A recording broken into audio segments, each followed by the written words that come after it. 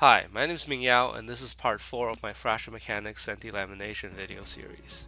In cases where you don't know the direction of the crack growth or you don't have it explicitly modeled, you can use a new capability in ANSYS 19 called Smart Fracture Mechanics Crack Propagation. This allows you to take a 3D model, define a crack, and model progressive damage and the crack growth in the model. So here we have the model. I'm going to set it up um, and go through the process of setting up a fracture mechanics simulation. The part is made of structural steel. We can tune the material to be anything else we want it to be. Uh, let's generate a generic mesh. Okay, the mesh in the crack tip should be fairly refined. It's useful to go through a fracture mechanics refinement process to see what sizes are correct for fracture mechanics parameters. So let's say we want to divide up this by 10 divisions and we can specify a uh, let's say a curvature setting. Setting a curvature setting controls the growth rate of the mesh around the crack tip. Now the smart fracture mechanics requires this to be a tetrahedral mesh. So I'm going to switch from a hex mesh to a tetrahedron mesh. And instead, instead of edge sizing of 10 here, let's take a look at the mesh that's generated. All right, the mesh is small here and then it grows uh, progressively larger. We can in fact change this to something called a sphere of influence.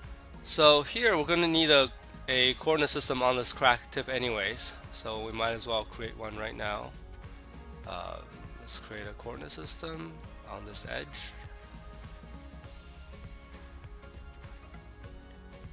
And we can select this edge here. We can define a sphere, uh, a radius. You can visually see the size of the sphere of influence. So it's a little too small. Maybe we'll double the size there. And this means all the elements within this sphere that intersects the body will have a fairly small mesh on it. That could be our size. We'll make it a slightly smaller than that. And so we can take a look at the mesh now. That's a finely refined mesh, and you can certainly refine that mesh more as needed. Uh, now let's define our fracture mechanics part. So we're going to define a fracture. This will be a pre-mesh crack. You can create an arbitrary crack or semi-elliptical crack as well if you have an actual geometry, say uh, a part with a lot of fillets, and you want to add a small crack to see what, what happens and how it grows.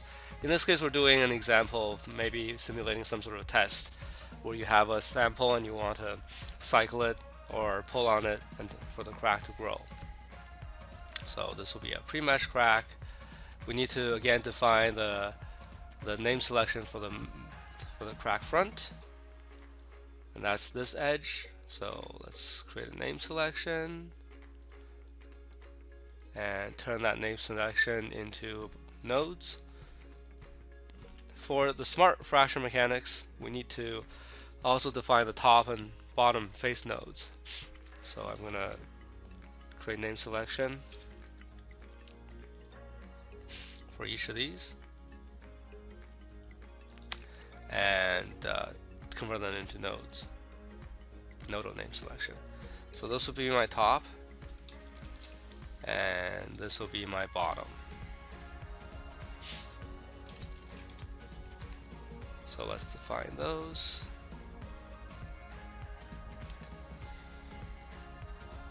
You can see the coordinate system here is pointed in the plus x direction, but it's oriented in the wrong direction. So we can switch that. Let's go back to this coordinate system and we can convert our, uh, our pre-mesh crack to be on our new coordinate system. Uh, the y-axis is the axis normal to the crack plane. So we want to, to orient our co coordinate system such that the y is pointed in the global z-axis. Uh, reorienting the coordinate system doesn't change the mesh, so everything is set up as we would expect. Uh, next, previously we tried uh, interface delamination. This time we're going to go with the smart crack growth option. Again, this is new in ANSYS release 19. The initial crack will be my pre-mesh crack. We're going to do a static simulation. And what we need here is the, the critical stress intensity factor. Um, this is this should be calculated from experiment um, and simulation. So as I showed in the second video, you can do some simple experiments like a double cantilever beam test, uh, model that experiment, and then extract or calculate the appropriate critical stress intensity factor. I did a quick simulation of something similar, so I'm going to put in a value here that will result in a crack.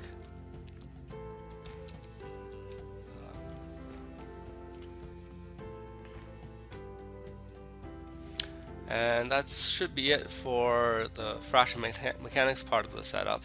There's a question marks here, so uh, the limitation on fracture mechanics is that you have to either turn on the, the calculation for the stress intensification factor or the J integral, but not both. If you have both turned on by as shown by default, it will throw an error. Uh, the rest of the simulation should be straightforward. So we have a fixed support on the bottom. This will be a double cantilever type of uh, simulation. We're going to pull up half a millimeter and keep the Y and X-axis planar. We also need to set multiple sub-steps. So we're going to run the simulation over 40 steps. We should see an incremental growth of the crack.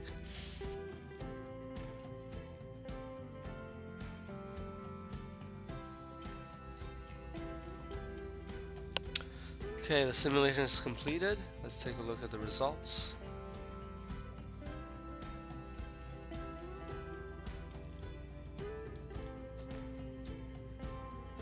We can see the growth of the crack. Let's slow this down a little bit.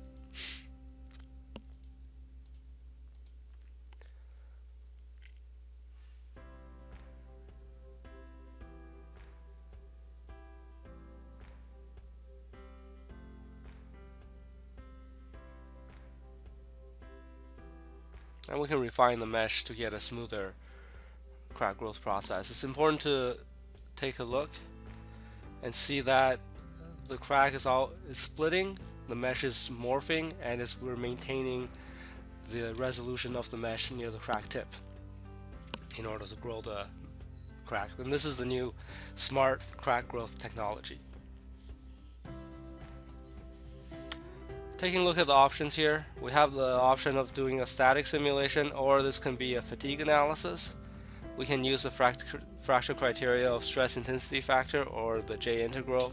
In addition to a static crack growth simulation, we can also perform a fatigue analysis. The fatigue calculation will be based on the Paris law and it will be tied to a particular material, in this case structural steel. Structural steel option here is highlighted in yellow because we don't have my Paris law properties defined there.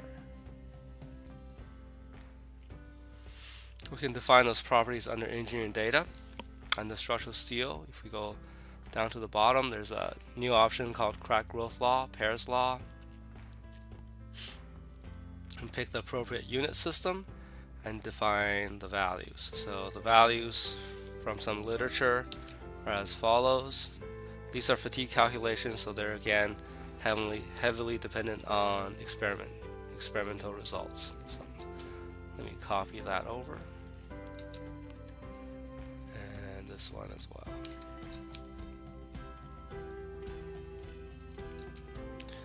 Okay, now that I've that defined, we can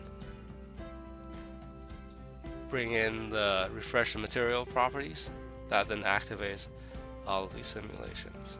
So since we're doing a fatigue analysis, we have to have the same start and uh, instead of ramping the load, we're going to apply instantaneous load, which means this needs to be a constant value. Let's change everything to a constant value and set this to be 1 micron. So this will pull it up by a micron and the Paris law, the goal something like the Paris law is to calculate number of cycles to failure and how far how far the crack grows. Set this to 10 cycles and we'll go simulate this. Okay, so we need to make sure that the units are all the same.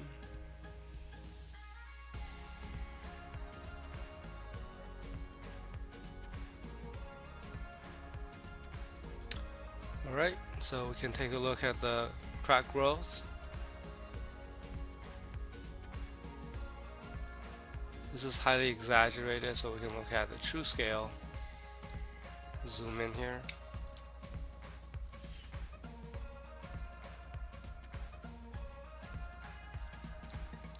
You can see the crack growing and the mesh distorting with it. If we exaggerate the deformation, you can see that the crack actually opening up. Uh, the nice thing about this is that we can also look at crack extension, total number of cycles. This shows the number of cycles for each stage of the crack. So the, the first part of the crack took 41, 42,000 cycles. And we can go here, retrieve this result. And then as we go forward, the crack will start to open up. Uh, you can also probe, probe the crack extension to tell you how, how far the crack has grown as we over time. So the key here obviously is to get the correct Paris model values for the material you're using and that requires a lot of experimental cal calibration and certainly as with all simulation you should be validating and correlating the result to experiment. And this is it for this uh, last part of my fracture mechanics and delamination presentation. This is on Smart Crack Growth, one of the brand new really exciting features ANSYS released in release 19. Thank you.